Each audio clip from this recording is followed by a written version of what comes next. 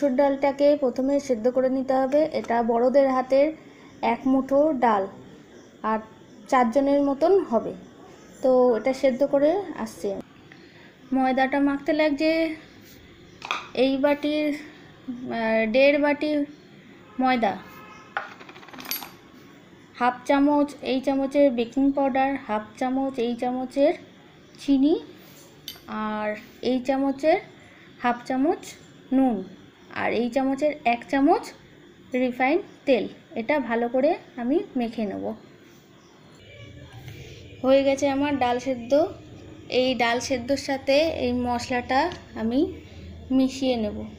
মিশিয়ে নিয়ে ময়দার সাথে একসাথে মেখে নেব।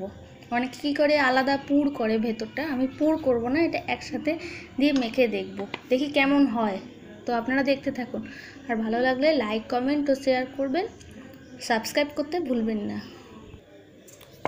ভালো করে মাখতে হবে, ঠেসে নিতে হবে, ভালো করে। আমি কিন্তু একসাথেই মেখেছি মশলাটা আর ডাল সেদ্ধটা। তো মেখে আমি দেখাচ্ছি। মাখা হয়ে গেছে, মাখাটা ঠিক এরকম হবে। এরপরে আমি একটুখানি চাপা দিয়ে রেখে দিচ্ছি। তারপর কীভাবে বেলতে হবে আমি দেখিয়ে দিচ্ছি। দশ মিনিট চাপা দেওয়া থাক। দশ মিনিট পর এটাকে আবার একটুখানি মেখে নিতে হবে। এরকম করে।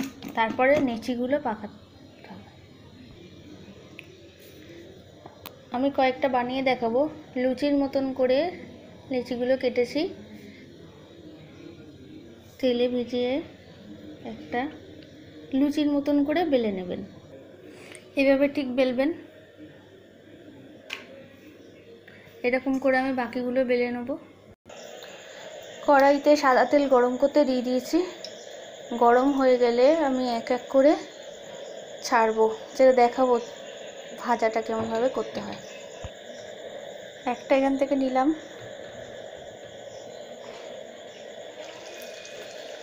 দেখো কীভাবে হচ্ছে, এরকম করে চেপে চেপে দিতে হবে। ফুলছে, দেখো। ফুলবে অবশ্যই ফুল। ফুল লুচির মতন ফুলবে। এর মধ্যে মসুর ডাল দেওয়া। তো এইভাবে আমি সব কটা ভেজে নেব, নিয়ে দেখাচ্ছি। তো হয়ে গেছে